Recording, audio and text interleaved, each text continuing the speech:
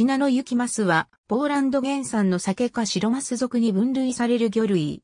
白マス属のタイプ種ホワイトフィッシュシーラボリータスの禁煙種である。ロシア語名で、マレーナ。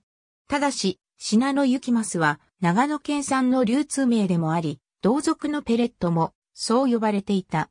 他県での流通名は、秋田県白マス、北海道北の雪マス、愛媛県姫の魚、福島県合図雪ますなど。酒科の魚にしては、鱗が大きく、鱗が取れやすい。一尾の卵数は1万5000粒程度、卵の直径は 2mm とワカサギと同じ程度の大きさで粘着性は弱い。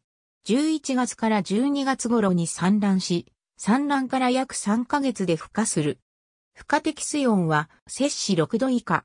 1年で80から100グラム、2年目150から490グラム、3年目450から800グラムに成長し、2から3年で成熟し、産卵可能な状態となる。孵化直後から餌が必要で、2週間絶食が続くと、以後の餌が十分に与えられ成長しても死亡する。故障性の魚で22から23度以下の低水温を好む。体側から腹部は全体に銀白色、頭部から背部にかけて青みを帯びた暗灰色。天然魚の分布は東部ヨーロッパ、シベリア、北、アメリカ等の北緯50度近辺及びそれ以北の地帯。寄水域でも生息可能で、ボスニア湾、バルト海、フィンランド湾にも分布する。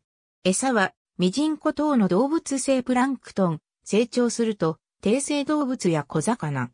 受精卵は、孵化するまでの期間、一升瓶の底同士をつなげたような形状の容器で育成されるが、育成期間中は随時死んだ卵を除去する必要がある。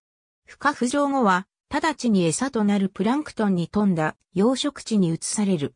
養殖時の餌は、ワムシ類、アルテミア幼生の他専用の人工飼料が使用される。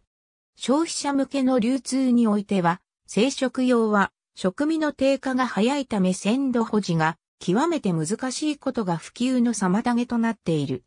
なお、JR 中央本線、小海線小淵沢駅では、駅弁として、品の雪マスの押し寿司が販売されている。